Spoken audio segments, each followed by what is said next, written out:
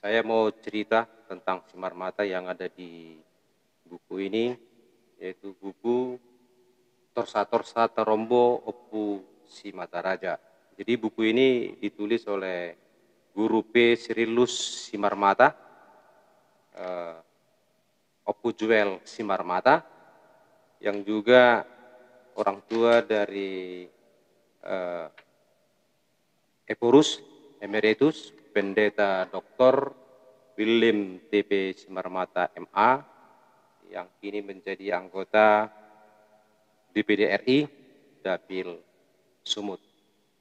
Tapi saya mau cerita dari buku ini yaitu tentang uh, Kebutua Binur.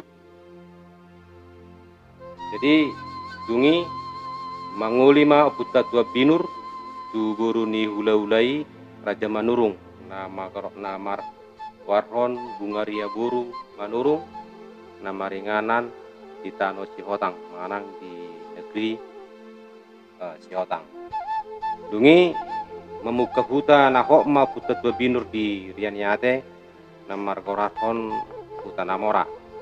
Dalam gabian las raja do di namo umal yang ni di pasau puta mulai jadi nabunut do pangiduan ni oputta duli oputta binur doho oputta burmanurung imana mendapat obat anak bawa doho dua guru.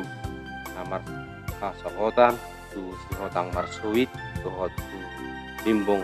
Na obat dulu Gorni anak nana opati ima lango raja saing raja si mata raja uh, raja mata raja omma Buddha Namar Kilarhon Oppu Simata Raja Raja Mata Titik Kimarujung Ngulu Buddha Tua Binur Markia Tua Buddha Burumanurung Nadi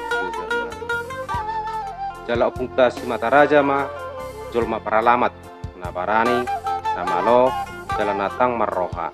Dibain Simata Raja dosa ada tusuk ketuahana naduai Ima Lango Raja do Raja lau manukuton alamat do nani.